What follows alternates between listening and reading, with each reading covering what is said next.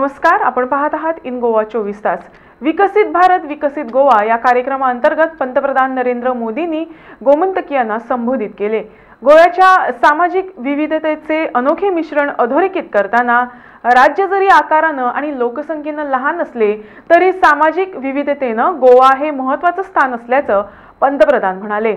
इस प्रकार से अलग अलग माध्यम से जो है और यहाँ से सरकारी चलेंगे उस विशेष कार्यक्रम में लाइव तस्वीरें आप देख रहे हैं। मंच पर पहुँच चुके हैं प्रधानमंत्री नरेंद्र मोदी। हमने अभी आपको बताया कि 1330 करोड़ रुपए की योजनाओं का शिलान्यास और उद्घाटन कर रहे हैं प्रधानमंत्री नरेंद्र मोदी और उस कार्यक्रम में पहुँच चुके हैं प्रधानमंत्री।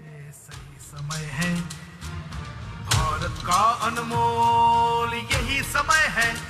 असंख्य की शक्ति है। गली गली में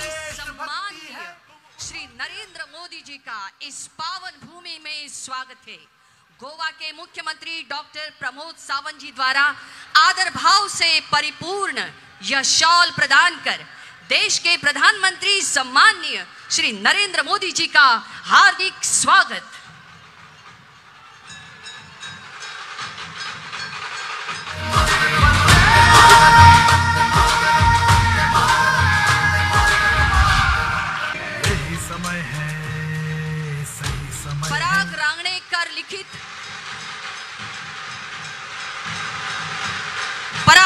पराग रांगणेकर लिखित a wild Goa symphony in feathers ग्रंथ की भेंट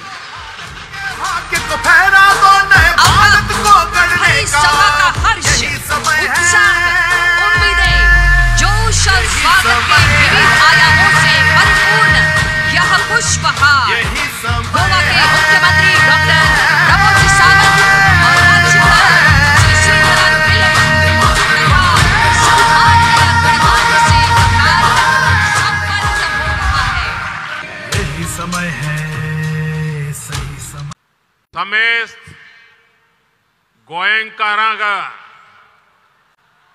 मना कालजा सावन नमस्कार।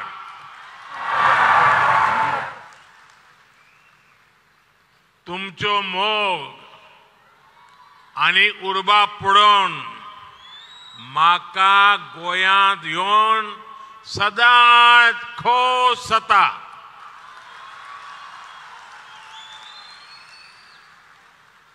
साथियों, गोवा को यहाँ के सुंदर समुद्र तटों के लिए, प्राकृतिक सुंदरता के लिए हमारा गोवा जाना जाता है। देश विदेश के लाखों पर्यटकों का फेवरेट हॉलिडे डेस्टिनेशन गोवा ही है। गोव्याचं विजन मांडत असताना पंतप्रधानांनी इथल्या ख्रिश्चन समुदायाबरोबरच इतर समुदायाचा उल्लेख करत गोवा एक भारत श्रेष्ठ भारतचं उत्तम उदाहरण असल्याचं म्हणाले. क्रिश्चियन कम्युनिटी और अन्य धर्मों के लोग जिस तरह गोवा में मिलजुल कर रहते हैं वो एक भारत, श्रेष्ठ भारत की बहुत अद्भुत मिसाल है।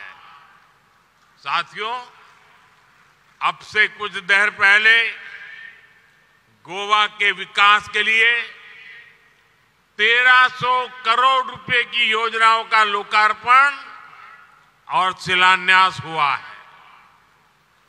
शिक्षा, स्वास्थ्य और पर्यटन से जुड़ी ये परियोजनाएं गोवा के विकास को और रफ्तार देगी। पंतप्रधान नरेंद्र मोदी यांच्या हस्ते मंगळवारी एक हजार एकशे तीस कोटी रुपयांच्या विकासात्मक प्रकल्पांचं उद्घाटन करण्यात आलं. केंद्र सरकार गोव्याला लॉजिस्टिक हब म्हणून विकसित करणार असल्याचं ते म्हणाले.